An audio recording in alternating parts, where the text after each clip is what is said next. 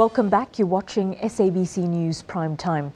The 14 Fort Hare University students arrested on charges of housebreaking, theft and malicious damage to property have been remanded in police custody until the 27th of May.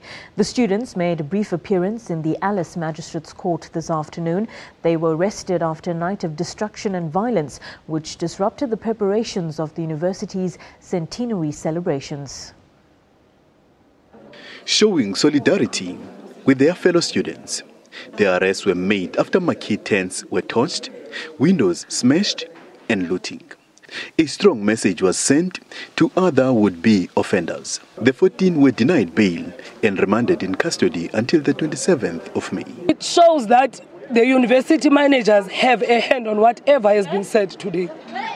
But we are still going to sit as the SRC and strategize. This is a clear, clear, very clear plot against the students. The sad part is that the plot is devilish because everybody knows, even the managers of the university knows that we are going to examinations.